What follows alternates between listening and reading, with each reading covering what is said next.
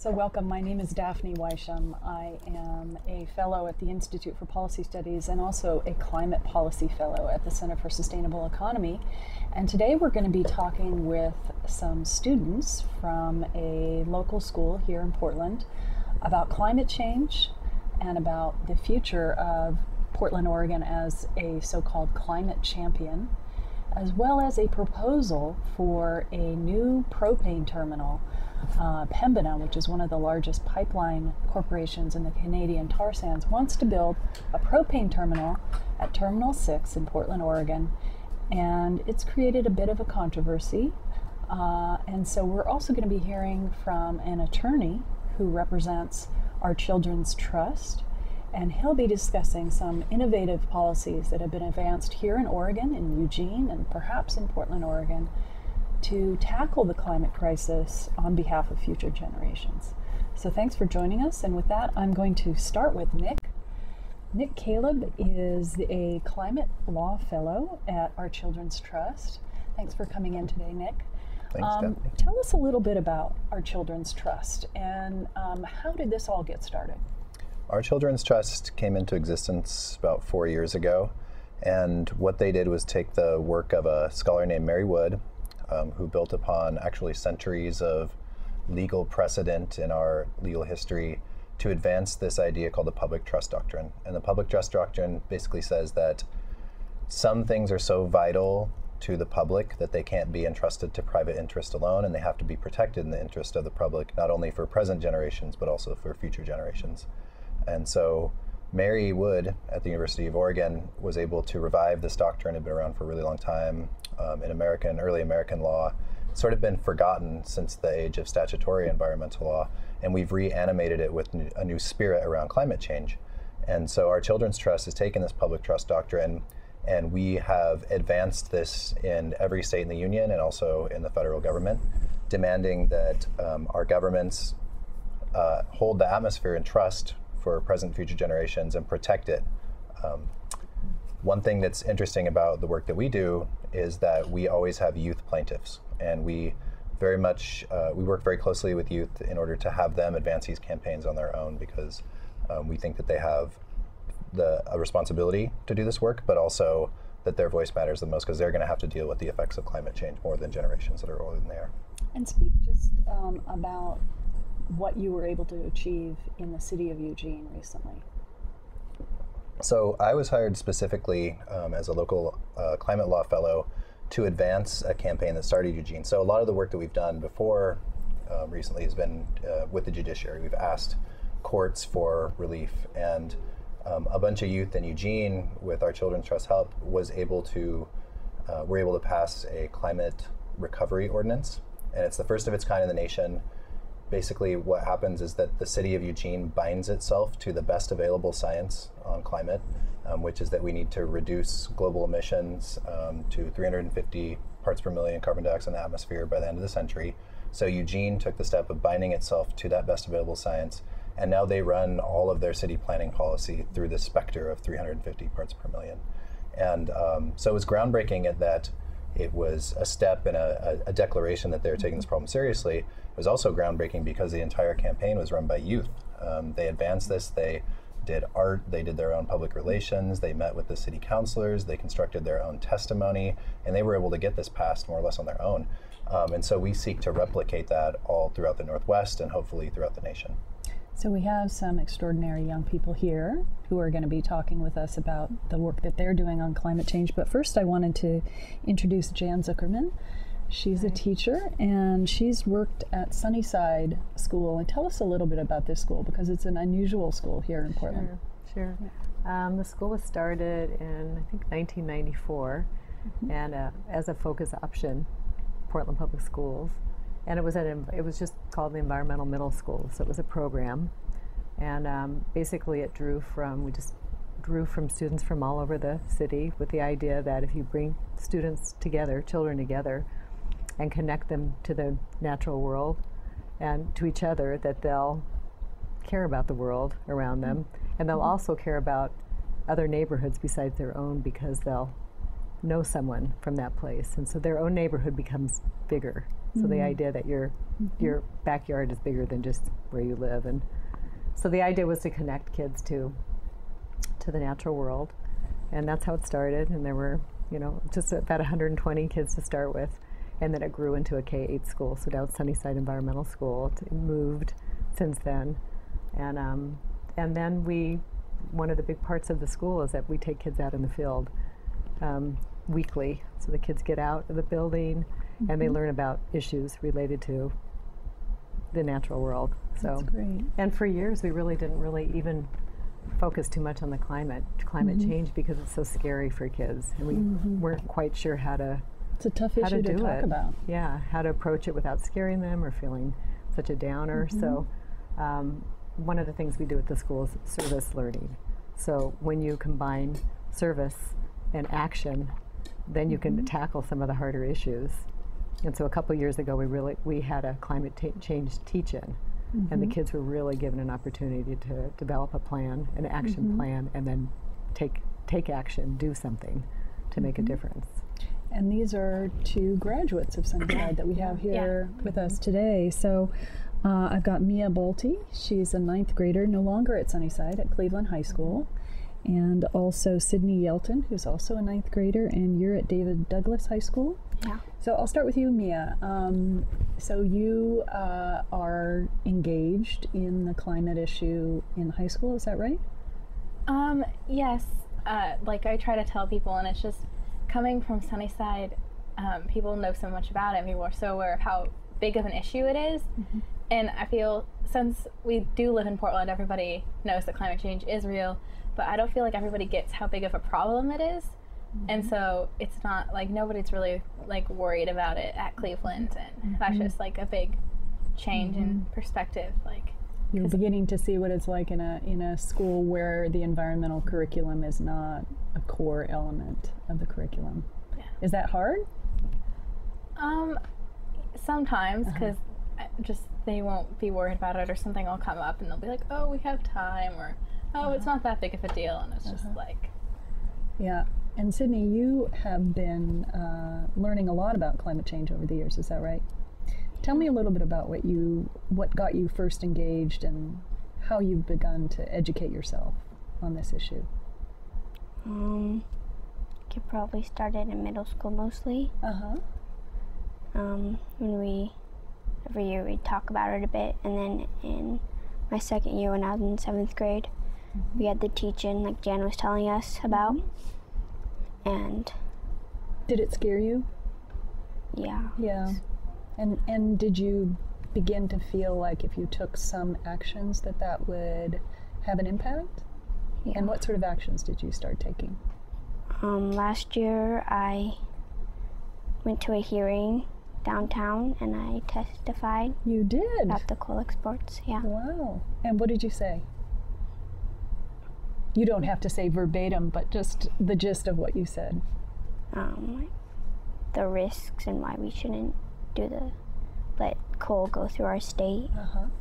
And what happened as a result of all of that testimony? Did the coal export project proceed or was it put on hold? Do you know? Yeah, it's put on hold. It was put on hold. That's great. Well, um, so in terms of what is happening right now in the city of Portland, uh, as I mentioned at the beginning, we've got this propane export terminal that's being pushed by Pembina, a Canadian corporation. Uh, we have the mayor of Portland on record saying he thinks it's a good idea. Um, and we also have other public officials claiming that it may actually be environmentally beneficial uh, because this gas would otherwise be flared or vented in the course of fracking. Now, Mia, you've done a little bit of research on fracking. What do you know about fracking? Um, well, in seventh grade, we all had to write a letter to um, an official or some some person in a place of power about a big environmental issue that we wanted to learn more about and that we wanted to tell other people that was like bad and we needed to stop. And I chose fracking, and I just learned so much. And we watched a documentary about people who were lived near the fracking sites who the gas and leaked into their water and if they held like um, a lighter next to their tap water and turned on the tap it would just catch on fire and their animals were dying and so there's the immediate like deaths around fracking and then there's also just of course when the gas is eventually put to use that that just hurts the environment and people more and there's nothing like yes it's a use of energy but other than that there's really no good Yep. effects that are linked to it And of course, an additional problem with fracking is that there is this problem of methane leakage from what they call fugitive emissions, which some studies suggest it could be actually worse than coal. Um, so that's uh, that's a concern. But in terms of how we proceed in the city right now, can you tell us a little bit, uh, Nick, about Portland's reputation as a climate leader and what this would mean if they were to advance this propane uh, export facility?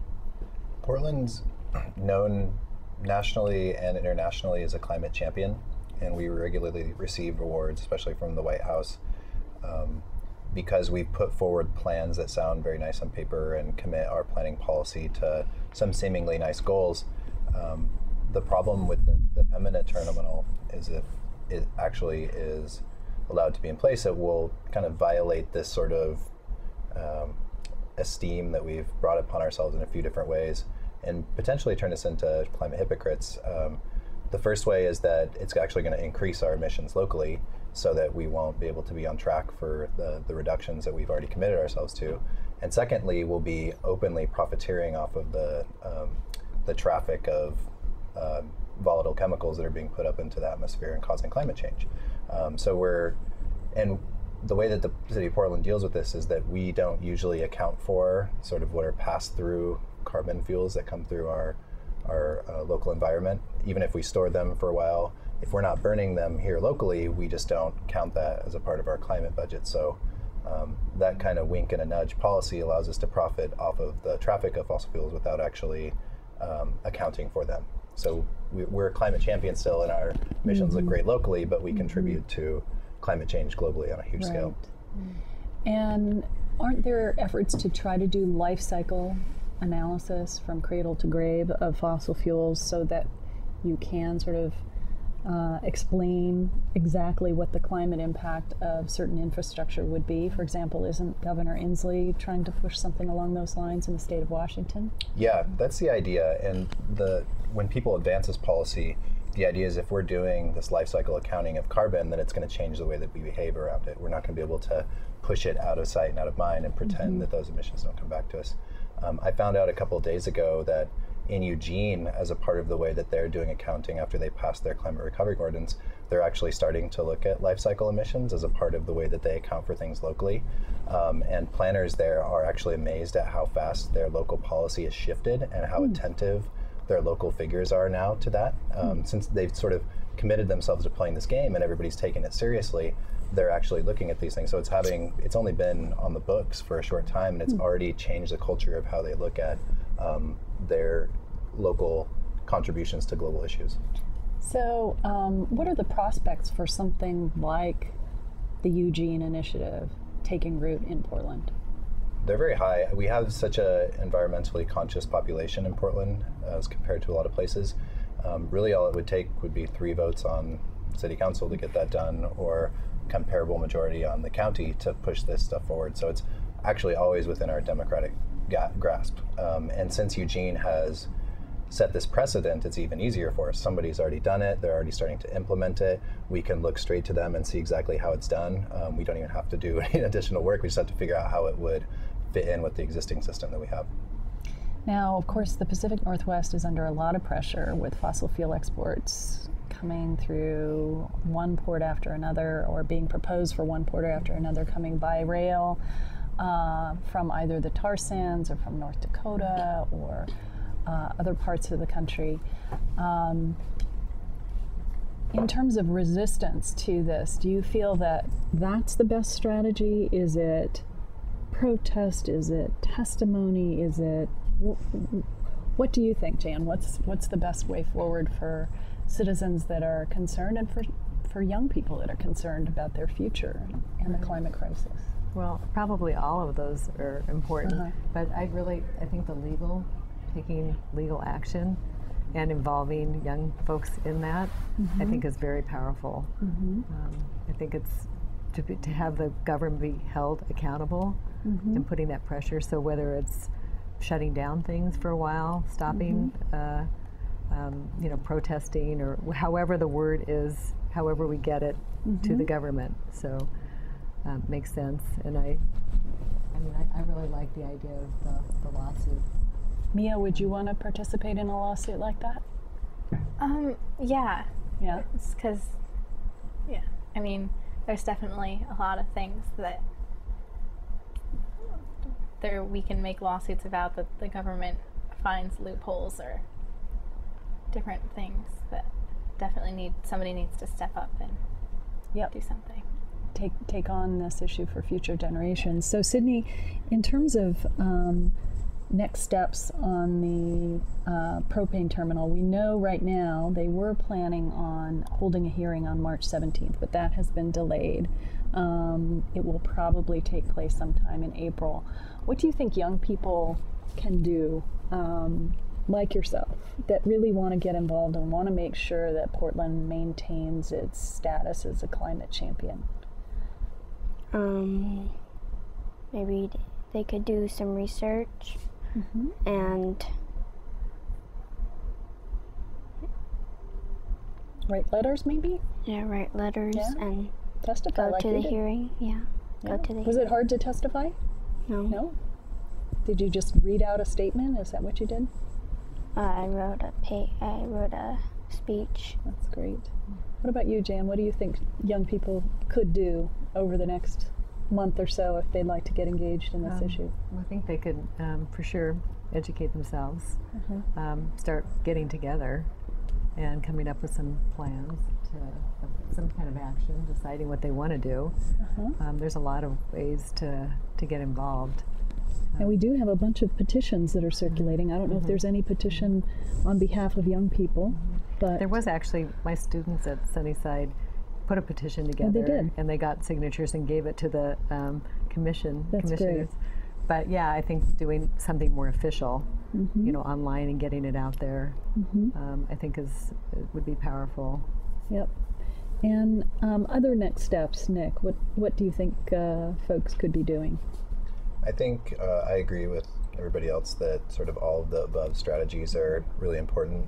My other hat that I wear is, in addition to being an attorney, is that I teach in university. So we have a heavy curriculum on climate change, and um, I also teach a lot about direct action strategies. And in my estimation, the things that are the most successful as far as campaigns go are those when you actually can utilize direct action, have strong educational and media components, and then be working at the legal system at the same time. And it seems to me that in the Portland area, we have the tools to do all of that kind of stuff, and there are plenty of ways to get involved. I know several coalitions that have formed recently with the um, ability and desire to take this task on. And so, um, as this this propane terminal um, process goes forward and the climate action plan draft is released in March, there are going to be all sorts of opportunities for people to make their voices heard and to demand significant change. And what about at the state level? We've got a new governor in place now. Um, is it possible to take your initiative, our Children's Trust, and advance it n- instead of going city by city? Actually, say this should be a tool that's used in planning the future for the entire state. It could be. And we have a lawsuit that's active in Oregon, our Children's Trust says, with two youth plaintiffs, um, one of whom was featured on Bill Moyer's show recently, um, talking about her education. She was about y'all age, actually younger when she first was a plaintiff, in this case. Now she's uh, back east going to college, but she's back and forth um, all the time. And so this case alleged the same thing I was talking about at the beginning um, that Oregon has public trust responsibilities, that by not acting on climate change, they're failing present and future generations, and that we seek the government to implement a climate recovery plan. And so that's what we're asking for.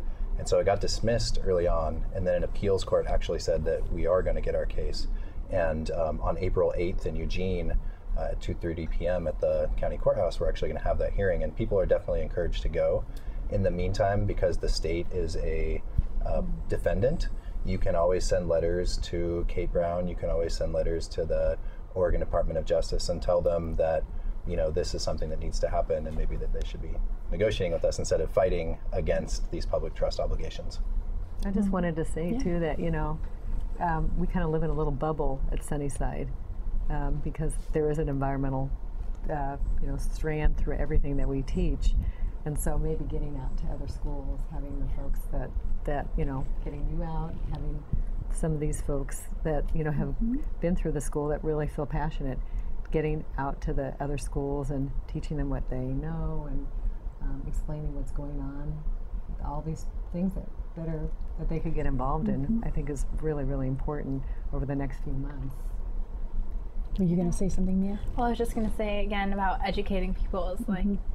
Like I said when I came to Cleveland, it's, it's just like how uneducated people were about it. Like, mm-hmm. since we do live in Portland, of, course, people do realize that it, it's it's real and it's an issue, but they don't realize how big of an issue or what causes it and all mm-hmm. these other things. And I just feel like for three years, that's like what we learned about in my school. So I mm-hmm. do feel like that's a big step. Is like, in order to make change, people have to know about the change that they want to make. Because if people don't know about how big of an issue it is, they're not gonna feel motiva- motivated to make a change. Now, the Oregonian recently had a an editorial that they published. I don't know if you all saw it, where first they asked their readers what should be the number one topic that they cover over the coming year, and their readers said climate change. And they wrote an editorial saying, well, actually, we are not going to be covering climate change because we don't think that it matters what Oregon does. What would you say to that, Mia?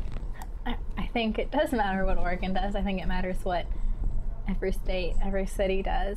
I mean, because everything makes a difference, and especially like a state has so much power on mm-hmm. what goes on. Mm-hmm. Like, because a state can make a decision on what things are legal. Mm-hmm. Like, states mm-hmm. can make fracking again not happen in the state, and it's just and it does matter like the whole with the coal train coming through oregon mm-hmm. like if it, it had to come through oregon and then so it would make a difference if oregon said no we're not going to let that happen hmm And that's happening more and more, isn't it, in Washington and in Oregon? Um, well, any final words from any of you? I think this has been a, a great conversation, and I'm hoping that what we can do with this is share it with other students, other teachers, uh, and get them involved as well. Um, any final words? Sydney? Um, well, yeah, lately I've been seeing signs of definite climate change. The weather has been mm-hmm. really hot the past few weeks. Mm-hmm. That's not supposed to happen in February. It's supposed to be mm-hmm. cold and rainy. And so that's kind of scary.